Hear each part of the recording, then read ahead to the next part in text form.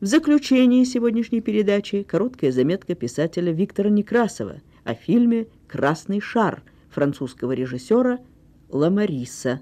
У микрофона автор. Сегодня я хочу рассказать о фильме, который впервые увидел в 1962 году и совершенно был им покорен. Сейчас я опять посмотрел его и пришел к выводу, что это один из лучших, а может и самый лучший из всех виденных мною французских кинофильмов. Речь идет о фильме «Красный шар». Автор его режиссер Ламорис. К сожалению, его нет уже в живых. Он разбился на вертолете во время съемок очередного фильма. Потеря для французского кино невозвратимая. Позволю себе привести полстранички – посвященных этому фильму из моего очерка «Месяц во Франции», опубликованного более 20 лет тому назад в номере четвертом журнала «Новый мир» за 1964 год.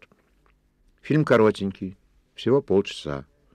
Когда он кончается, хочется тут же, сейчас же посмотреть его опять сначала. В фильме фактически два действующих лица. Маленький мальчик, его играет сын режиссера – и красный шарик. Они познакомились на улице. Мальчик снял его с фонаря, где шарик запутался, и подружились. Шарик полюбил мальчика, не отставал от него ни на шаг, летал за ним повсюду, провожал его в школу, ждал, когда кончится занятие, летел вслед за автобусом, в котором ехал мальчик, и когда мальчика посадили в карцер, полетел вслед за злым учителем и пытался сбить с него шляпу. Один только раз шарик отдалился. Это когда увидел другой шарик, синий, который несла маленькая девочка. Он попытался за ним поухаживать, но роман не удался. Мальчик и девочка их разлучили. Кончается все очень грустно.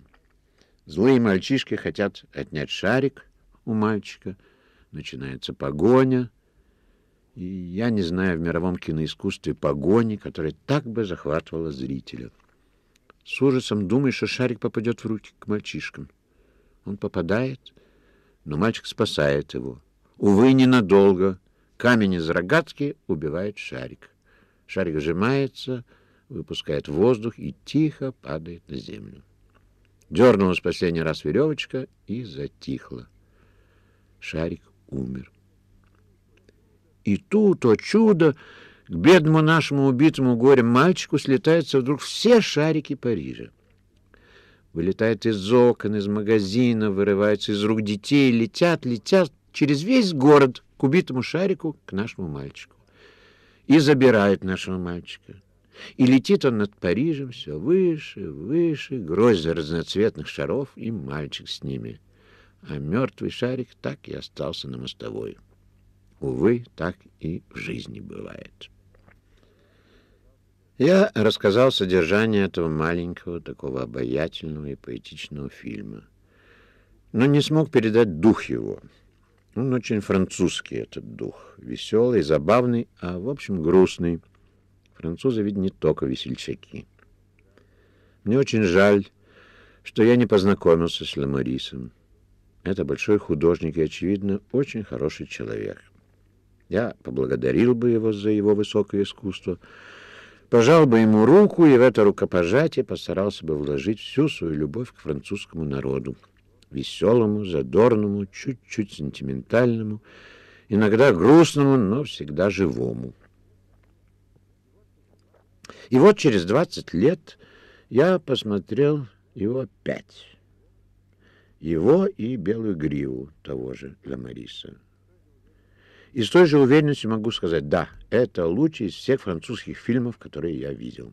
А за 20 лет я повидал их достаточно много. И с Габеном, Фернанделем, Мишелем Симоном, Даниэль Дарье, Брижит Бардо, Мишель Марган, etc., etc., etc., как говорят французы. Лучший, потому что в нем нет ничего, подчеркиваю это слово, ничего лишнего. Есть два первоклассных актера, которые не актеры, мальчик и красный шарик. И, наконец, потому что в противоборстве добра и зла побеждает зло. Но торжествует дружба, думаю, самое святое на свете. «Красный шар» снят без малого 30 лет тому назад, в 1956 году, в том самом году, когда кровью было подавлено венгерское восстание.